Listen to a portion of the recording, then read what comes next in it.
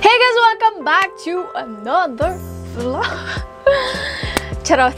So, for today's video, another review video na naman tayo for today. At dapat ulit. So, re-reviewin natin ang pinakabagong-bagong labas na Velvet Flush. Ayan. Laanim sila and then isa-swatch natin sila isa-isa sa ating fest. So, if you wanna know my thoughts about it, then please keep on watching.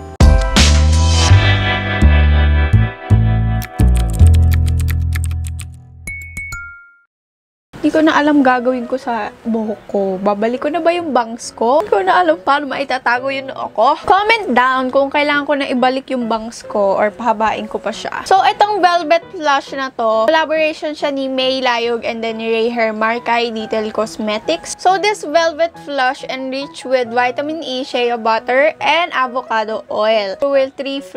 Cruelty free, cruelty, free siya, guys. So, tayo na lighter ka ng darker. Matte yung packaging niya and then ito yung likod. Sobrang ganda ng packaging nila. Hindi siya yung, di ba kasi nauuso ngayon yung ano, minimalist na aesthetic. Ito naman, na iba naman na sila ng, dahil yung ibang brands pare-parehas ng packaging dahil nga yun ang uso ngayon. So, I love na naiba yung packaging nila. Tapos, yung packaging nila, ayan, iba-iba din yung colors. So, pag binuksan mo siya, gaganda hirap mag-review. Siya, maliit lang pala siya. Kasi yung mga nakita kong video, kala ko malaki siya. So, ito yung palad ko. Tapos, ayan lang siya, oh. Ayan ang kanyang packaging. Sobrang ganda ng packaging. Packaging! So, multi-use mousse, lids, eyes, and lips. So, pwede siya cheek sa eyes and sa lids. It contains 8 grams and made in Taiwan. Nabili ko siya dun website nila. Same day delivery, but nagka-problema ako sa sa pag-order sa kanila. Nag-order ako nung November 28, Saturday. And then, cut off na nila kasi cut off nila ng ano, 3 p.m. Alam ko naman na ano, cut off kasi naka-order na ako sa ibang same day delivery. Order ako parang 5 na. Pag inabot ng cut off, kinabukasan na i-deliver. Pero hindi nila na-deliver and wala ako natanggap na any messages sa email ko. Kasi ganito yung nangyayari. Sabi kasi, mag-email lang sa kanila yung, yung order number and then yung proof of payment. Ayan, ganito o oh, yung nangyayari. Ayan. Paki-explain kung bakit ganyan. So, ayun. Ang dami, puro ganyan yung ano, yung email sa akin. Ay ako, nag-message ko sila nung Sunday na sa Instagram para mas mabilis. And then, yeah, nag-reply sila Monday, but Monday is holiday. So, yun, Tuesday na nila napadala. Yun lang naman. Pero hindi, wala namang problema sa akin yun kasi alam ko naman na madaming umu-order, kaya naintindihan ko naman yun. Share-share ko lang para alam yung experience ko. So, nung pinadala na nila ng Tuesday, mali yung nailagay nila na number ko dun sa driver. So, bali parang nagantay yata yung driver. Niisip ko nga ako ako yung nagkamali, pero hindi ako pwede magkamali sa number ko kasi naka, ano siya, naka-auto-type yung number ko. Parang may shortcut yung pag tina-type ko 00 tas number ko na So, ayun, yun lang naman. And then, ano naman, nag-sorry naman sila. Tapos, sinagot nila yung shipping dahil na-delay. Pero, wala namang kaso sa akin yung kung hindi nila sagutin or sagutin nila. But, so, meron din naman sila sa Shopee and Lazada. But, kailangan ko na nga kasi i-film. Kaya, ano, order ako ng same day delivery. But yeah, yun lang naman ang aking shopping. So, let's go with this. This is cotton. So, ito yung packaging ni cotton. So, yan. Very light na nude si cotton. And then, ano lang ah, trivia lang guys. Wow, trivia! yung mga pangalan ng shades is pangalan ng pets ni Ray and then ni May. Mga habibis ni May Layog tsaka yung mga dogs ni Ray Hermar. So, wala lang. Shock lang. Hindi nyo alam. Pag binuksan mo siya, ito ang kanyang itsura. Yan, may salamin siya dyan. And then, ayan ang closer look ng product, makikita nyo nakaumbok siya. Pinaka-lighter shade sa kanila. So, si Cotton ay perfect pinkish nude. So, ayun ang kanyang shade. And then, TBH lang, guys. Hindi ako mahilig sa ganito, yung ginaganon ng kamay. Dahil, dati, nung estudyante ako, pwede pa. Pero ngayon, para sa akin na, para sa akin lang naman ito. Unhygienic siya para sa akin. Saka, hindi rin kasi ako mahilig mag-retouch. So, yeah. That's try na. Isusum ko kayo ng konti. Isaswatch ko muna here sa kamay ko. Pag hinawakan mo siya, Ay, putik, lumagpas pa. Smooth siya, guys. Hindi siya mahirap kunin. Very velvety nga. Ito ang kanyang swatch. Si Cotton. Ito si Cotton. Yan. Pigmented, ha? In fairness. And then, yung finish niya is powder matte. Napansin ko powder matte siya. So, itatry na natin siya sa pisngi ko, sa lips, and then sa eyelid. So, ayan. Talaga naman, kung kailang mag-ano. So, itatry ko muna siya sa lids ko. Ang sarap ng finish niya. Sarap kainin. So, here's sa lid ko. Hmm. So, tignan natin kung madali ba siyang i-blend. Hmm, madali naman siyang i-blend. Ayan, tignan natin yan. Ang ganda ni Cotton. Kala ko magmumukha siyang pangit sa akin kasi nakita ko yung ibang review. Ito pinaka at least favorite nila kasi para daw sa maputi. Ako hindi naman ako ganun kaputian. In fairness, kay Cotton. Oh, diba? Taray. Ilalagay ko na siya sa cheeks ko. Dito, kakamain ko and then dito. Gagamitan ko ng sponge dito para makita niyo yung difference ng daliri at ng sponge. Nakabahan ako ah, baka mapasobra. So, ayan. pigmented siya sis. Konti pa lang yun ah. Yan, dagdagan ko pa para makita niyo yung tunay. Buildable naman siya guys. And then madali siyang i-blend. Hindi siya yung, di ba may mga ganito na, na namumuo siya. Pag nilag, pag, ay, ayan, dry na mukha ko. And hindi siya nag stay sa isang place lang. But yeah, ayan siya ng daliri lang. Ang ganda. Fairness. Mm. And then, hindi ako madalas gumamit nito kasi nga oily ako. Pero lately, nagugustuhan ko na yung dewy look na hindi, yung hindi nagsaset. Ito, pwede to sa mga hindi nagsaset. Yung lids ko pala, ano siya, may team siya. Ayan, ayan si Cotton. And then, gagamitan ko siya here sa kabila ng sponge. Konti lang, baka mapasobra. Anong mas maganda? Sponge o daliri? Sponge, so, ayun, tignan nyo kung anong difference. Yan, ang ganda. Pwede din siya sa lips, so itatry natin kung maganda ba siya sa lips. Yung lips ko, by the way, darker sa outer part. Ah, Sobrang powder matte yung finish. Ayun siya sa aking lips. So, hindi niya na-cover lahat yung ano ko, yung lips ko kasi nga darker. Lalo yung part dito. Sa dito, sa gilid, saka dito. Pero yung feel niya, okay lang. Ano siya, magaan siya sa labi. Yun nga, hindi natin alam yung longevity niya. Pero dahil velvet to, for sure, mabilis lang tumatanggal. Lalo pag kumain kayo. Here's cotton.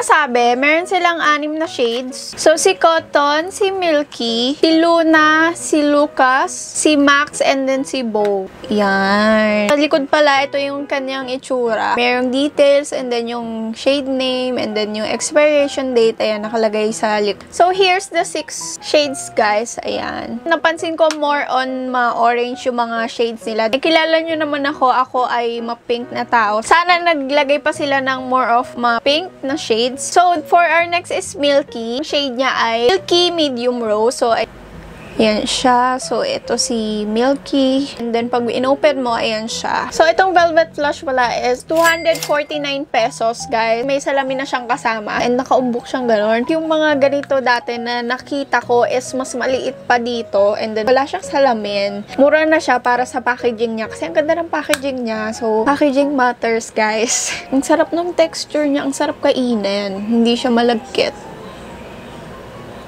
Ayan. Ayan si Milky. Try na natin siya sa ating lids. Ooh! I-blend ko muna. Ayan, dahil ayoko mapasobra. Di ba yung color niya sa lids ko? Kasi maitim nga yung lids ko. Ganda ng ano niya, texture niya kasi hindi siya malagkit. Oh, ganda. Ang messy. Yun ang ayoko sa kanya, ang messy. Yun talaga yung pinaka-ayoko sa pat. Dahil nga dinadaliri. Huwag nyo gamitin daliri nyo. Ito na siya sa aking cheeks. Cheeks. Ganyan ko lang siya inaano sa cheeks ko. Dalawang daliring ganun. Tap-tap lang. Kasi ano siya, pigmented siya eh. Pisngi. Yan, ang dami. Diyos ko. Wait lang. Shh, napadumi. Mas gusto ko siya gamitan ng sponge talaga. Hindi na ako marunong maglagay gamit daliri. Yan si Milky sa aking cheek. So, itatry ko na siya sa aking lip. Gusto ko yung texture niya sa lips ko. Parang wala lang. Yung iba, ano, ayaw nila sa lips. Ako, nagustuhan ko siya para sa lips ko. Ay, ang ganda. Ang ganda ni Milky sa lips ko. Parang lips but better. Ay, Mm, sino ka? Ay, lumagpas. Ayan, lumagpas. Milky for the win. Angelina Jolie Cassettes.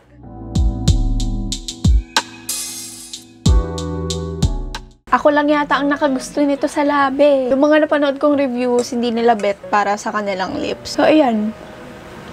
Mm. Kita nyo, nilabayan ko. Sobrang dry ng mukha ko ngayon. For our next is si Luna. So, here's Luna. Ayan ang kanyang packaging. Ganda ng packaging niya. Ayan, si Luna ang dog ni Ray Hermar. Pag sinwatch ko siya, Ayan, more of ma-orange ano, si Luna. So, si Luna ay muted apricot peach. Try it sa aking lids. Signan natin kung bagay ba sa akin ng orange. Aking lids. Dahan-dahan lang kasi medyo meshy, meshy. So, pasensya na kung hindi pantay-pantay yung lagay ko. So, try natin sa cheeks natin kung bagay. So, ayan siya. Sobrang pigmented. Mas madali siyang i-blend pag sponge yung gamit. Malamang, nag-sponge ko eh. Madali ka i-blend. Natin kung maganda si Luna sa aking lips. Okay, okay. Masyado siyang orange para sa aking lips. Buti naman hindi na to 35 shades, no? Dahil baka mawala na yung mukha ko nung pag 35 shades. Ayan si Luna. Hindi siya bagay sa akin. Na-emphasize niya yung pagkadilaw ng ngipin ko dahil mahilig ako sa tea. And then, hindi niya na-cover lahat yung buong lips ko. So,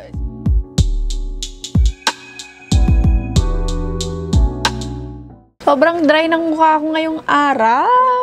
As in, buong mukha. Oo, magkakaroon na kasi ako kaya ang daming nangyay. so, let's go for Lucas. So, si Lucas naman ay warm almond brown. Itsura. So, ayan si Lucas. So, mukhang magiging maganda to. Ah. Kita nyo ba yung pagka-swatch? Tingnan natin si Lucas.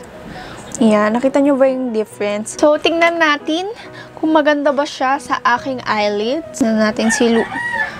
Ang ikay ng mga manok. Pero ayan, si Lucas. Brown nga siya, sis. Ganda siyang pang, ano, everyday. No, ay nice. Gusto ko to si, ano, ah. Oh, di ba? Ang ganda ni Lucas. Bet. Bet. So, ayan si Lucas sa aking eyelid. So, ayan siya sa aking cheeks. So, yan. Konti lang. Hindi pa ako nakakatry ng ganitong blush. Yung more of brown, hindi pa ako nakatry. Ganyan lang. Tap-tap lang yung ginagawa ko. Hindi ko siya dinadrag na ganun. Para hindi masira yung mukha ko. Pero ayan. Ay, ang ganda. Bet. Ganda ni Lucas. Fairness. Super buildable niya. Kahit na ilang finger pa gawin mo. Kasi sino ka? Ganda ni Lucas. Ayan si Lucas. Nang may sponge at nang wala. Ganda. Bagay pala sa akin yung brown. Try na natin siya sa lips ko. Ganda ni Lucas. Lucas. Lucas! Ay, bet. So, ayan si Lucas. Ang ganda niya ha, in fairness ha. Natakpan naman niya yung mga, ano ko, yung mga darker lips ko kasi medyo darker siya. So, ayan si Lucas. Ang ganda. Lucas!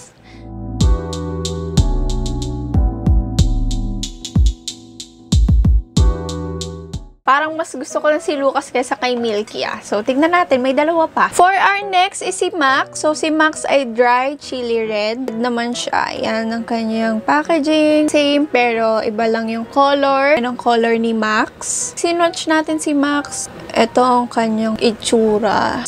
Max. So, ayan. Ayan si Max. Red nga siya compare dito. Ito ma si Milky ma-pink. So, let's try na sa ating lids. Alam nyo, for me, nagiging same lang yung mga colors niya sa eyelids ko. Yung tingin ko. Ha? Kasi nga, maitim yung lids ko. And in fairness, dito mabilis siyang matanggal. Hindi ako nahihirapang tanggalin siya. So, babalitaan ko kayo guys sa story ko. So, follow nyo ako sa Instagram. Kung ano ba siya, long lasting ba siya. So, ayan. Yan na. Pasensya na ako magulo mag-swatch sa eyelids. Ang hirap kaya. Hirap kaya mag-swatch. Kala mo madali. Charot. So, ayan si Luna sa... Ay, si... Anong pangalan Si Max sa aking eyelid. So, let's try naman sa aking pisngi. Oh my God. So, dating gawe, ganun lang din ginagawa ko. Ganun ang technique, guys. Huwag nyong i-drag ng ganun sa mukha nyo. Pag nagaano kayo, nagbe-blend kayo ng gamit ng daliri. Tap-tap nyo lang hanggang sa mag-blend. Huwag nyong i-ganon kasi masisira yung face nyo. Ganun, alam nyo na. Day, napasobra day. Day, sobra day. Shit, sobrang pigmented, sis kailangan mong masterin to. So, ayan. Ayan si Max sa aking face. So, lagay na natin si Max sa aking labi. For sure, babagay din sa akin to si Max. Kasi red eh. So, ayan. Palaban si Max. So, parang gulo ko mag-swatches, no? Okay lang yan.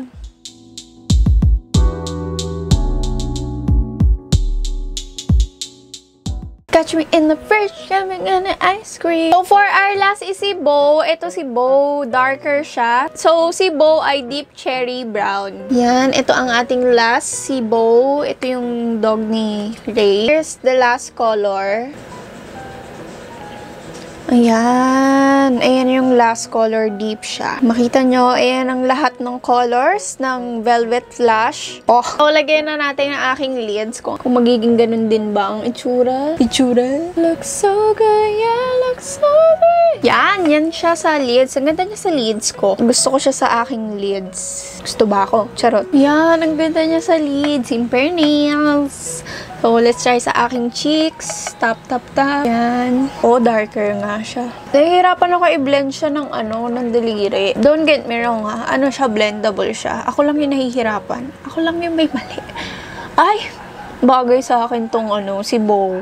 Bagay yung shade niya sa akin. Si Bow. Sobrang pigmented, shootek. Ayan, ayan siya sa aking lips. Ay, sa eyes and then sa cheeks. And then ko na sa aking lips. Ayan. Mas ano to, mas kakulay ng lips ko. Mas darker to eh. So, mas kakulay siya ng lips ko compare kay Milky.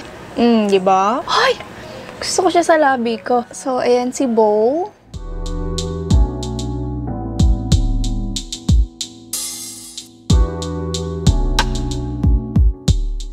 Final thoughts, guys. Ito yung mga nagustuhan kong color sa kanya. Si Milky, si Max, and then si Bo. Ayan. More of ma-pink yung nagustuhan ko sa kanya. But si Lucas ay brown. So, si Lucas nagustuhan ko siya. And then, super nagustuhan ko siya sa labi ko. Okay na siya para sa 249 kasi first, maganda yung packaging. And then, second, meron siyang salamin, which is a plus pag may salamin. And then, pwede mo na siyang gamitin sa eyelids, sa cheeks, and then sa lips nyo. Ako nagustuhan ko siya talaga sa, sa lips ko. Gusto ko yung texture niya sa, sa lips ko. Yung parang wala lang. Ewan ko yung iba, ba't ayaw nila. Siguro hindi nila type yung texture. And sobrang blendable niya. Nakita niyo naman ang dami kong maglagay. Pero, nabe-blend pa niya kahit madami kang nailagay. Hindi siya nag stay in place. May mga ganun kasi, di ba? Yung pag may mamomoo dun sa nilagyan mo. Siya, hindi siya ganun. Buildable siya. And then, pwede mo siyang gamitan ng fingers. But for me, mas gusto ko siyang gamitan ng sponge dahil hindi ako sanay sa fingers. And then, para sa akin, mas madali siyang i-blend ng sponge. Dami ko sinabi. Also, I like yung finish niya kasi powder matte siya. Feel ko kahit hindi mo na siya iset kasi hindi siya, ay, nilalamig. Tumatayo yung balahibok ko. Kasi ano siya, hindi siya malagkit pag nilagay mo. Ang bawa bare face mo lang siya ilalagay, okay lang siya kahit hindi mo iset. So, alam ko naman yung mga mas bata dyan, wala pang iniisip, kaya mas madalas na wala silang base pag naglalagay ng ganito. So, maganda siya, may base or wala. And for me, kung halimbawa estudyante ako, hindi siya ganun kabigat sa bulsa. Ang mabigat sa akin sa bulsa ay 300 plus niya. Hanggang kahit ngayon, pag 300 plus na mamahalan na ako, nakita nyo naman kung gaano siya kadami, nakaumbok siya eh. Ayan o, may umbok siya sis. Sana all may umbok. Kung madaming beses mo pa siya magagamitin, make sure lang na pag ginamit nyo to is wash your hands, guys. Lalo ngayon dahil ang daming virus na kumakalat. So, bago nyo siya gamitin, maghugas kayo mabuti ng kamay and don't forget na isanitize nyo siya para hindi mamuo yung mga bacteria dyan dahil nga for me, unhygienic yung ganito. But, ako gagamitin ko siya, pero naka-sponge ako. By the way guys, kung hindi nyo pa napanood yung colored swatches ko, saan nyo na dahil may giveaway ako doon. So, I think that is it for today's video. I hope na nakatulong ako sa kung anong pipiliin yung shade. I hope you guys enjoyed. Sana may natutunan kayo. So, ayun, comment pa kayo sa baba kung ano yung gusto nyong i-review natin at ang swatch natin. So, thank you guys for watching. See you on my next vlog. Bye!